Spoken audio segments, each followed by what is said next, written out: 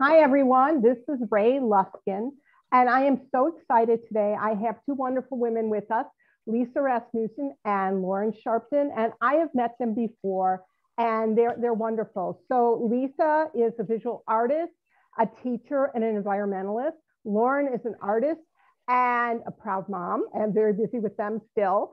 And but they found time to come together to create an incredible organization called Art is Moving. So we're just going to dive right in so you can learn more about these incredible women and the work they're doing in the world. So who wants to go first and tell us a little bit about their background, who they are as an artist, how, you know, I know you, you started early, um, Lisa, and, you know, those kind of things. And why don't you start? And then Lauren, you, then we'll go to you. Well, I'm Lisa, and I think I have over two decades in terms of transformative art teaching and developing programs. I've taught at-risk populations, like in foster care system, to elders, to um, to women, and then I run retreats, um, like women's empowerment retreats in Greece. So that's fun. Um, art is my life, and I have something called the Harmonia Institute, which is basically where art is a catalyst for transformation and healing. All right, perfect. Yeah.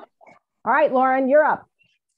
Yeah, uh, let's see. I probably started photographing when I was about 14 and fell in love with photography, and that led me to my undergrad. And then I jumped in to get my MFA. That's where I met Lisa. Um, and as an artist, what I do now is I like to sort of cultivate and create community by um, inventing interactive art projects. Uh, one of those, of course, is Art is Moving, the nonprofit. And then I have my own personal art uh, that does kind of pretty much the same thing. I also raise three boys uh, at the same time. We take a lot of art breaks together, and I um, have a bakery too. So that's also I another. never knew that about you that you had a bakery. Yeah. wow, I learned something new today. Another art form. Yeah. You know, let's talk about creativity in itself. How do you define creativity? Yeah, so um, I would say that our, you know, my outlook has always been a little bit controversial in the art world because, uh, and Lisa agrees with me, this is how we connected really, is that I believe that everything is art and I believe that everyone is an artist. Um, it's just about finding that part of you that um, helps you express yourself. Um, and I'm really into experience based art making uh, so basically, it's not necessarily about the object that you're looking at, but it's the experience you're having while looking at the object, or it's the experience you're having while creating the work. So yeah, that's how I would define art and creativity. I would, I, I agree with that. I think also creativity is an intentional act of expression. And, you know, you can use it to heal yourself. You can use it to, um, it's basically like creating, like not creating something new, but like taking the leap to an action that that you create something from within yourself if that makes sense yeah i mean i love your concept and what you say because creativity to me is not just being a like visual artist which most people say oh i'm not creative i can't draw right. you know it's it's so much more and mm-hmm. and we do it every day in our parenting whether we're an architect where whether we're a programmer whatever it mm-hmm. in life if we bring an attitude of creativity, which I think is about imagination being expressed, you know, and be made reality, whatever that form is, I think that changes the, the, the conversation a lot and takes pressure off of people, you know. So I love what you're saying. And um, I do agree with you. So hey, that's why we're friends, you know. So, yeah, yes. But let's let's talk about, you know, uh, what are the benefits actually of being in a creative process? You know you you've talked about you work with people you know with with at-risk kids and things like that or youth. Let's talk about the actual benefits. There's emotional there's physical there, there's mental. So let's talk about that. I always love to think about the new neural pathways that are being created because you're doing something that's totally new. And then I always like to think about it as too is like I know that creativity comes from your unconscious or your subconscious. So you're pulling it out of that field and making it conscious. And so there's like you can you can there's a light shining on it and you can really learn about yourself through that process so that's a huge benefit yeah i would uh, i always when i just try to describe why i'm sort of obsessed with people taking art breaks to folks who may not quite understand why I'm so passionate about it. Um, my the most successful way I've found to explain it is that it's this amazing magical tool for communication, and it's a it's a communication not only with uh, the, the outside world, but more importantly, it's communication with yourself. Um, it's it's like a taking a self discovery journey, uh, you know, and and really honestly, art is one of the few things that kind of enables you to do that. And I think the reason, like the way it does, um, is that it opens up a part of you that is otherwise closed off. Mm-hmm. It's a bridge you know yeah. i think it it's a bridge. bridge. i like that I, I think of it too there are so many you know you can get into the details in the studies whether you're working with alzheimer's patients mm-hmm. you know things like that how music again it's not necessarily drawing or painting it can be but music mm-hmm. is a big piece of that and and mm-hmm. you know we, we, movement dance you know all these things that we we take for granted on a daily basis yet that's what I think of as art breaks. And I'd love for you to talk about art, you know, art breaks right now. And I, I'm honored. I'm going to be speaking on, on the third with you about, you know, your 11th program. I mean, it's pretty incredible. So go ahead and talk about it a little bit. Lauren, you, you kind of, you can talk yeah, so um, we, yeah, so this will be the 11th annual Art Break Day celebration. And the concept was basically created because Lisa and I, through our other projects, discovered that the easiest way to get people to make art is to sort of kind of jump in front of them and just say, hey, you want to do it? And so Art Break Day is this day where volunteers across the world set up art making spaces in the public. And so it's in places that you wouldn't normally think would have art going on. And so we get people who wouldn't normally make art to sit down together and create. And so um, it's been amazing to watch because with every single year, sometimes, you know, at the beginning, Lisa and I were doing it together, and we would watch these people who would never even acknowledge each other on the street sit down and be there for a couple of hours and and you know sort of exchange information at the end because they were forever friends and you know art was basically the reason for that because it does it breaks down barriers it builds bridges and it's a way to indirectly talk about deep feelings and also just connect with people in a way where you find some common ground. And so, so, what are some of the activities that you've seen over the years that have been really positive that maybe if somebody who's listening now, even though if they're not going to participate in September, you know, they, they could take back to their community, you know, or their family even. So what are some we, of your favorite projects? We've always done it really simple. When we first started, it was a piece of paper, Sharpies, acrylic paint, and pencils, I think. And so mm-hmm. what we did in the beginning is, you know, you we set up in um, San Francisco in the middle, and we just people randomly walking by would go, "Hey, you want to take an art break?" And they just sit down. So it's a real simple. And some of the supplies are even like elementary school supplies. You know, I mean, oil pastels. So very simple, um, just to get, just to take the action to start creating. Mm-hmm. Yeah, and we've had we've had other communities. Um, create work together. So, you know, we've had people just lay a canvas out on the ground and then invite mm-hmm. to um, create the way they want to. We had someone do a, a handprint painting where every person that walked by put their own hand hand uh, print. And we had someone paint the side of a, you know, semi truck. Uh, so it's it's really whatever you think would work for your community. And um, I stick to uh, you know, pencils, markers, collage, and clay uh, because it feels like there's one thing that everybody can sort of be okay with um, working with. Um, it, it feels approachable, I think. It's less, as many things that are not intimidating because you will get those people that are like, well, no, I can't draw. Uh, no, I can't paint or, um, you know, and um, you know, I, I, my mom has the best responses, and she's like, well, just just you know, just swoosh the paint around. It doesn't even matter, and stuff like that. And so you can find that medium that works for you, sort of your audience, your community. Well, do you talk to them? It sort of sounds like you're trying to get them back into that childlike state, you know, the, where where we just played and nobody had any judgment, and so it sort of sounds like that's what you're encouraging them to do. Yeah, we always, I mean, in person, we always say this is a non-judgment zone, meaning, you know what I mean? There's no judgment and um, play, exactly, kind of foster your inner child and just start playing and see what happens. I have a beautiful story. It was my last in-person art break.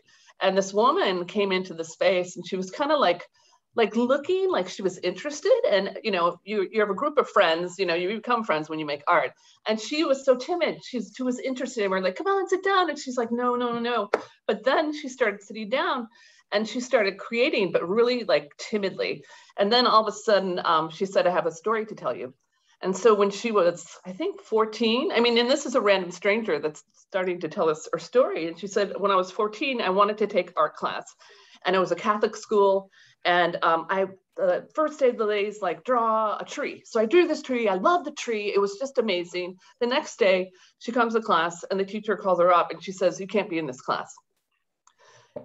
You can't make art. You're not an artist. So yeah. she was crushed. And this lady had to be about in her 60s. And she mm. said, I have not picked up anything to make art. And she was there and she was having so much fun. It's just by even telling the story, you know what I mean? This art wound and then it was about an hour later, she gets up and she's like, I'm so emotional. Thank you so much. Oh. It was such, it was so beautiful. Did you have an art wound, either of you? Yes. Oh, for sure. Yeah. All yes. right. Why don't I'm going to tell you my art wound. I had three of them. Please don't sing, mouth the words, you know, inquire, you know, and I love to sing. Yes, I've got a terrible voice. There's no doubt, but I like to sing anyway. The second was the, the teacher said, You're a terrible writer you know and the third was i was kicked out of a painting class in college the guy said you're a terrible artist get out God. and it was like devastating yes. I, I, was like and i didn't have the wherewithal the confidence to say i'm i don't care and right. i didn't paint for 12 years you know thank wow. god i didn't listen to these people i wrote books i've done art i've sold pieces I've, you know i've got like you know but it those art wounds they they go with you until somebody gives you permission again and they you hope it's yourself but I think outside, we need those outside voices saying it's okay. Yeah. So, yeah, yeah, I think the more you share sort of your art wound story and tell your art story, the more people realize that everybody has them and everybody has everybody has preconceived notions what it is to be an artist. I mean, I was talking to my husband the other day and I said, I think there are still people that would consider what I do not to be art. The fact mm-hmm. that I'm not the one holding the the paintbrush or the marker. I am the one facilitating the art making, you know. And he's like, "Well, you're a conceptual artist." And I'm like, "Yeah, I mean, but a lot of people don't consider that art." And I'm sort of like and to me, it doesn't matter because right if singing makes you feel better, who cares if you sound like an elephant screaming you sound like an opera singer. You know, it doesn't matter, right? Like I've never been interested in talent. I've only ever been interested is how does it make you feel? And I carry art wounds from grad school because I just everybody was I was like I'm not interested in talent and I said that in a class and the entire class was like devastated. And I said, I want to know how my art makes you feel. And if it pisses you off because I don't care, it looks like I don't care about talent, tell me that, you know? And and so yeah, I definitely have a ton of those kind of interactions. And and to me, the the, the answer is it all doesn't none of it matters because what really matters is you take five minutes you take your art break that matches you and works for you and then how do you feel? Do you feel better? Then why would you not do it? Why would you encourage someone not to do that? That like to me that blows my mind. I can't wrap my head around that. Right right. I know before i got on today i took my little art break so i always scribble and doodle.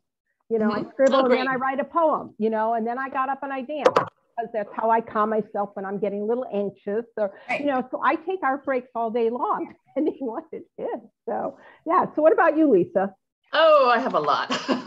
well, share at least one. Uh, trauma, trauma, trauma. Um, when I was, I think I was in fifth grade, we were doing a turtle, and um, I wasn't doing the turtle the way that it was supposed to, you know, the A, B, C, D. And my teacher took it and just crushed it.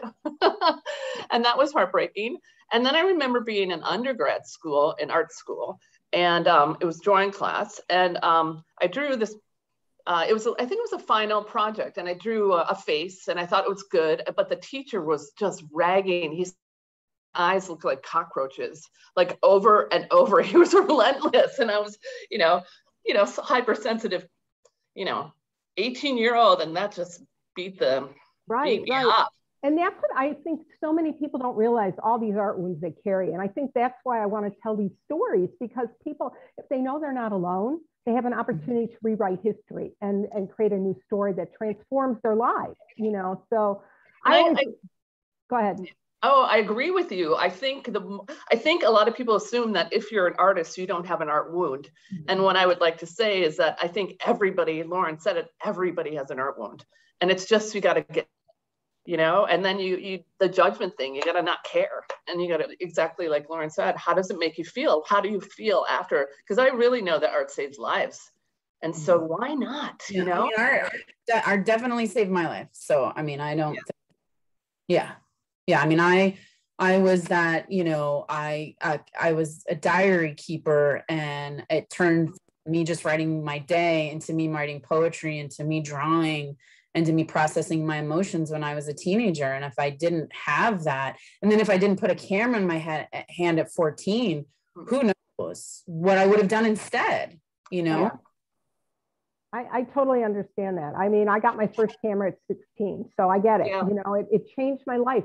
I could look through a lens. I also could get um, a perspective. I didn't have to be the center of life in some ways. I needed to step back and be the witness.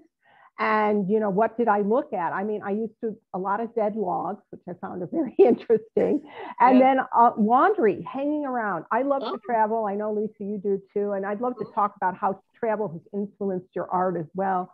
Oh, yeah. um, but those kind of things, you know, looking at win- looking through windows peeking behind the door, you know, looking at who's standing there behind the curtain. And it allowed me to be introspective in my in looking at them, but also looking at my own life. What am I hiding? What's what's my secret? What's behind it? And you know, you never know how it's going to come. So I love the fact that you're you're totally into reflection. I think that's a really key piece. It's reflection for yourself and for others as well. Yeah, when I was like in high school, I was really dark. I was kind of an emo goth character. and but no, I used to draw such dark things. I mean, and it's not that I could ever communicate it, but I could draw it.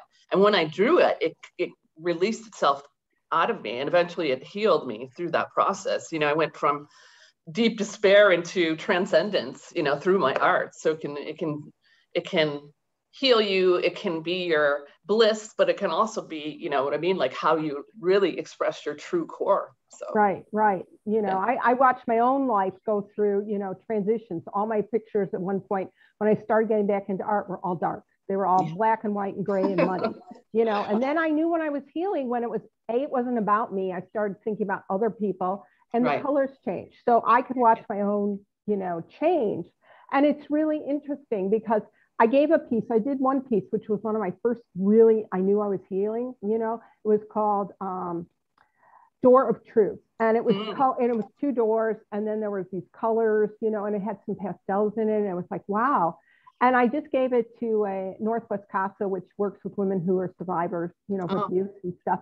And they put it in their lobby, you know, wow. people need to see that there is a possibility of growth and change and healing you know and i mm. think that's what we're giving them by talking about these stories and the wounds that we've carried. So thank you both. I so appreciate it. Yeah. But let's talk about now lisa i i'd like to talk about spirituality and art because i know that's part of your journey. Yeah. Um well it is my journey art is yeah. a spiritual process for me. And i guess i can tell you a story. When i was um my mom died 26 years ago and i went to nepal and art was my way of processing, like I said. I went to Nepal and um, I was very into Buddhism at that time. And some initiate painted the green Tara. I was really, my, I just had lost my mom. So I was in deep, deep, deep abyss of grief. I, and, you know, when you're in grief, it's just beyond belief. You don't know where the light is. So somebody had painted this green Tara on the trek. And when I went home, I actually painted her and she became like my, my, my light, my mother at that moment in time. So it, it's almost like it, she's transcendent. Like the Green Tara is the mother of all Buddhas, and she's compassion. So art has really been my spiritual awakening. Also, you know what I mean? It's like it um, it leads me, it guides me, and it becomes an imp- yeah. Now, I was going to say, it sounds like it's a creation story for you. You know, it's taking you to another place, and that is your creation story, and you, you're expressing yourself through your art. So, and I think what when you do create, you do tap into something that is so much larger than yourself. And a lot of times when you step back from the work, you're like, did I do that? Or who did that? I mean, I don't know. A lot of times, even my hand moves without me moving it. It's like, who's, you know, I'm a conduit of something larger than myself, which is so, so amazing. So that's real. That. Thank you. Yeah.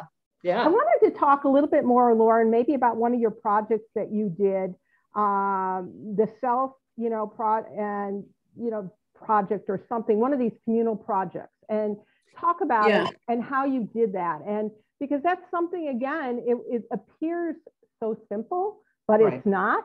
But you know, but it brings together community. But you're not asking anybody to be a make, you know, famous artist or do anything. But right. so why don't you talk about that a little bit? Yeah. So um, I was I was just thinking as Lisa was speaking about the spirituality of, of her art, my art. Um, so I have this idea that you know we all exist on this web. You know, it's sort of the systems uh, theory, and that um, every person carries that string with them, and we're all connected on this web. And so if the string uh, goes away, if that person leaves, the world is changed forever and um, i'm trying to communicate that through my art because i feel like the world would be a different place a better place if everyone felt like they played a significant role in this system we live in. And so all my artwork is based off of that sort of idea that concept that philosophy. So i'm trying to get people to come together to create together to spark conversation and connection. And so thank you for acknowledging that it's harder to do the i the uh, outcomes look very simple um, on purpose. Uh, they're very difficult to facilitate. But yes, so the a recent project I did was the self uh, self and portrait project, uh, and that was with one of my collaborators, Katrina Henry, and we were inside a storefront window that was empty. It just had the two of us in it to begin with, and then we hung uh, panels of paper behind us, and we asked people uh, two questions. Uh, the first question was use one word that you would use to describe yourself. And then the second question would was use one word that someone else would use to describe you. And that's step one and step two. And step three was to stand on an X and, and get your portrait taken by me. And so what happened is about over 150 people in our small town of Corvallis, Oregon, gave us some words. Uh, none of the words matched each other. Uh, and they were a lot of times opposite, uh, you know, and very revealing. And um, again, I was hoping to get people to have a conversation internally while also having a conversation externally with their gr- greater community. And then the, the portrait was about, again, creating connection. We took one piece from every person's face and created a, a portrait of Corvallis to sort of communicate that we're all in this together um, that we all struggle mentally with lots of things with who we are who we think we are and who we think other people think we are and who we want to be you know? And so um, yeah so there a lot all my projects are really similar to that. Um, it's also from an art perspective really handing that paintbrush over to the viewer to show them that they can they can be the artist as well I love that. I love that. Thank you. Lisa, why don't you share one of your art projects that you've been working, maybe one of your environmental things that you've done? Oh, yeah, I've done, um, I used to do tree shrines around the world.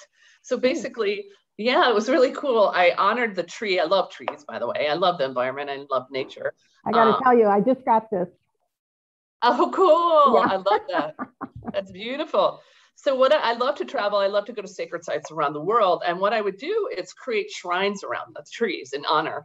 So at first I would use like pigments, spices um, from the Asian store. Um, really beautiful, very bright, like vibrant. And then I sometimes incorporate like organic material, kind of like um, Andy Goldsworthy. And the cool thing was I did them like anonymous, anonymously.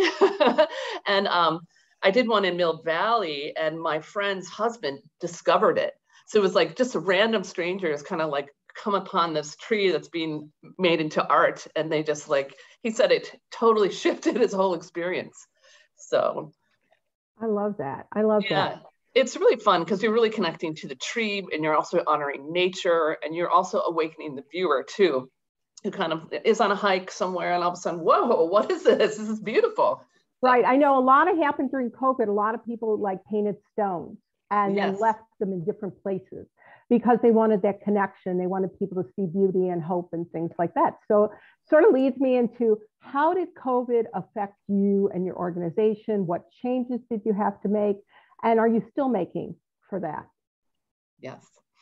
Yeah. Um, so, you know, as you uh, learned previously in the last couple of minutes, our, our whole goal is to get people to connect with each other by like physically being at an art table together. So that became uh, extremely difficult uh, when COVID hit, uh, you know, and so we basically shifted Art Break Day online. That was our that's our largest event. Uh, so it was online in uh, 2020. It'll be online again uh, this year for both of us. Uh, we do have a couple of locations that are uh, feel safe enough uh, to do it in person, and um, it it shifted the way we're connecting. We're still trying yeah. to facilitate connection, um, and it was a different experience for sure. But it was it had you know it has its pros and cons, just like everything.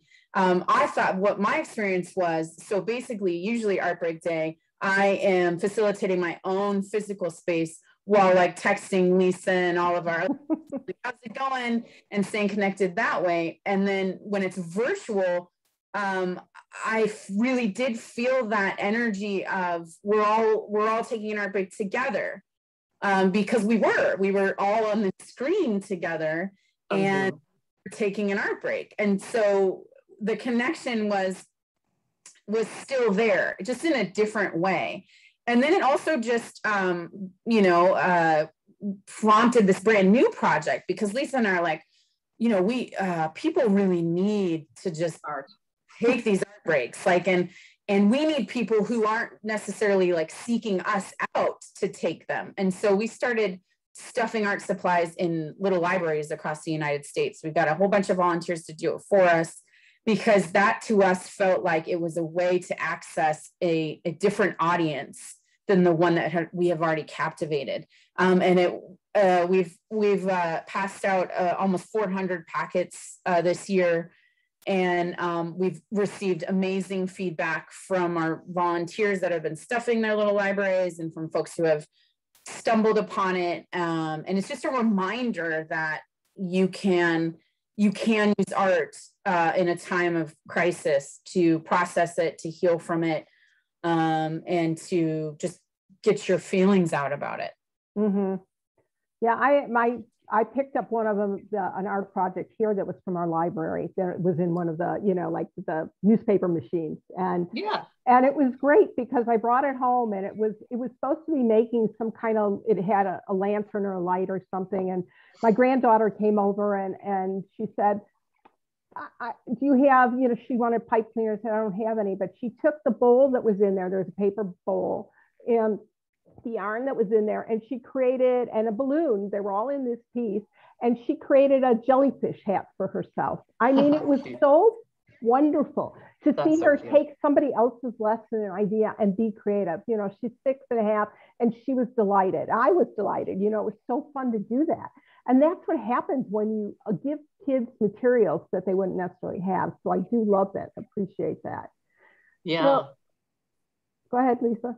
Oh, I was just thinking about COVID. And I think Lauren and I, through the whole pandemic, is we we know that art is really important, and we know that art is really important for everybody.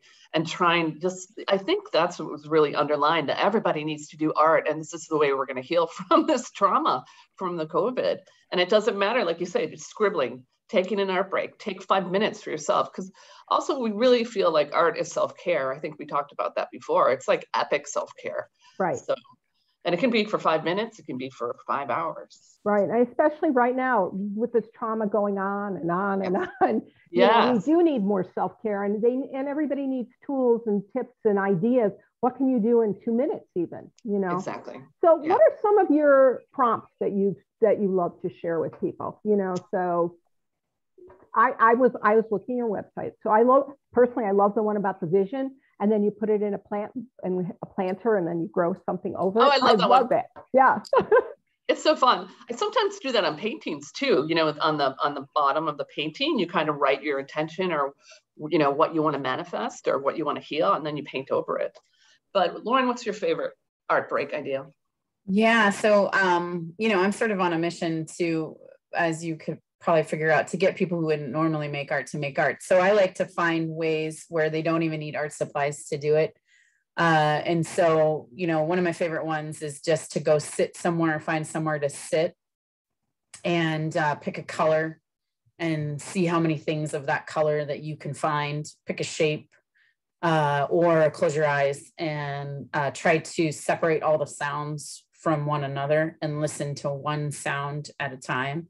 Very meditative process, right? And, and when you do something like that, you do only need about five minutes to sort of recenter yourself. And my hope is that um, the next time someone might bring uh, a pen and paper and uh, you know kind of close their eyes and draw what they hear uh, or write a poem while they're uh, looking at something whatever it is that they're looking for and it's a step-by-step process uh, because the deeper you go into art making uh, the more fruitful it will be so if you make art making your daily practice in terms of like actually drawing something or photographing something or painting something and you made that part of your daily life, uh, you would be better for it. But if you don't have that kind of time commitment or you're too afraid because you're carrying a bunch of art wounds, I totally get that. And I, but I would rather you take five minutes to do something than nothing at all because that's also uh, a, a, step in the right direction.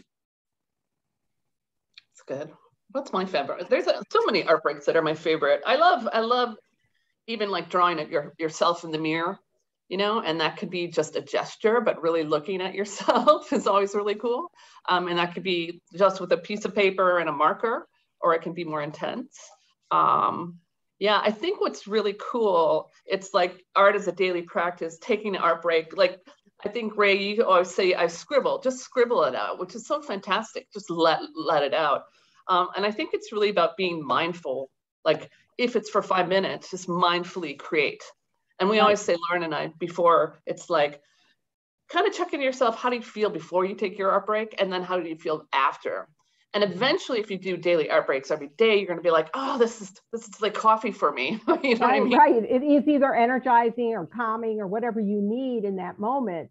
Right. And I, I agree with you. You know, it's like I, I, found during COVID this I've spent a lot more time getting up early and going outside and taking photographs. That is my joy of looking at the sun sunrise. I never never got up that early to go to watch the sunrise, but it it, it is calming to me. It brings me joy and and it sets me up for the day. You know, so a couple times a week I'm usually out there looking at the sun sunrise. So you know you just never know what can inspire someone. So okay, I would like to you know I know we can go on forever with this conversation, but we're yeah. we're going to have to sort of wrap it up a little bit.